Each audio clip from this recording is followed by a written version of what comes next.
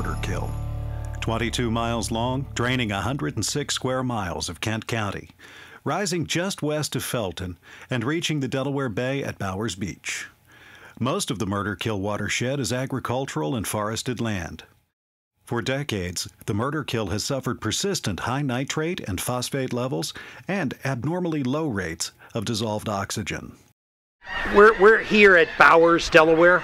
Uh, we're at a, we're on actually we're standing right now on the Bowers Municipal Dock. This is called the Lobo. It's the Kent County Lobo. So this is our instrument, but it stands for Land Ocean Biogeochemical Observatory. It's useful because you can get the data real time. We are directly funded from the Kent County Levy Court because they operate a wastewater treatment plant that drains into the Murderkill. And one of the questions they have, which is a management and a permitting question, is to what extent is the wastewater treatment plant uh, the source of nutrient loads that come past here and get out into Delaware Bay versus the watershed and the agricultural uh, activities in the watershed and domestic activities. There are also houses there on septic systems, how much they contribute. So one of the balances is to, is to ask the question of what can we say about the relative importance of those sources for nitrogen, for phosphorus.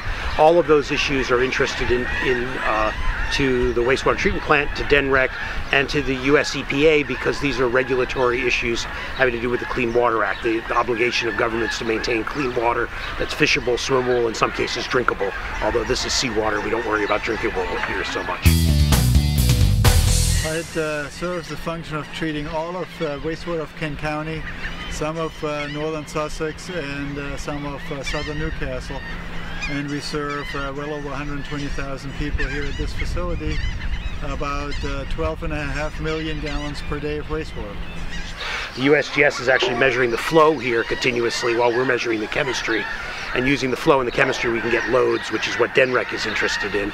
As a result of all this work that has been done as part of this intensive monitoring and new modeling work and maybe new criteria for Murderkill, there will be a new TMDL, total maximum daily load, which may require Kent County facility to maybe upgrade their treatment plant, reduce the load, and also uh, the load from watershed to be reduced uh, by putting best management practices on ag land, maybe on uh, uh, homeowners, those kind of things. So best management practi practices will be in place as part of the revised TMDL and new criteria.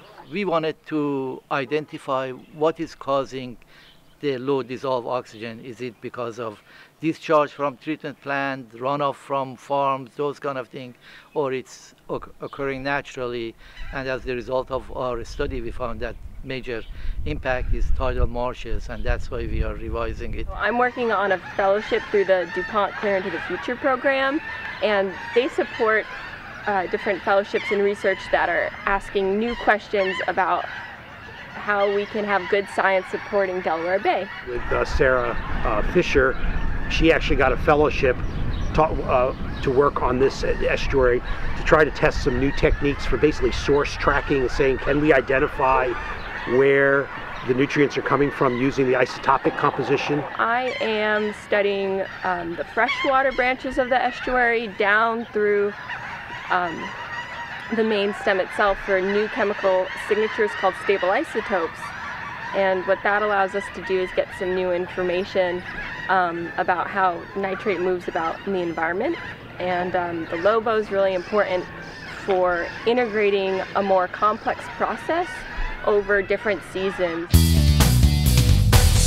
What we have today is just a uh, biological process, which is what we call uh, secondary treatment. You have the uh, microorganisms breaking down the waste load coming in what you see behind here in the aeration basins. In the background you also see the blower building where all the air is generated and uh, put into the basins. Now in the in the future once the TMDLs or the total maximum daily loads are uh, promulgated we will have full filtration and nutrient removal systems in addition to the clarification which we have today. Today the water is discharged in the uh, gut approximately in this direction and it was a man-made channel, trapezoidal channel, which just runs straight to the Murderkill River. We're planning on building a half a mile natural stream channel meandering with uh, re-aeration which would go in the opposite direction and still end up in the Murderkill River, but it's uh, it's going to have fully re-aerated and uh, be a very ni very nice stream.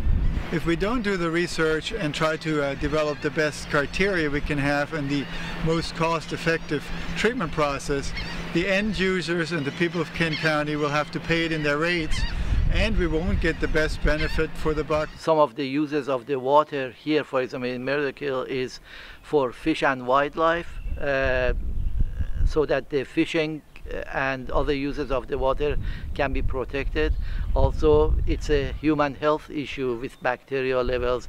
It can impact human health. I think people should care because once they know, they can get on board um, and do stuff around their home or, you know, business practices that support good water quality.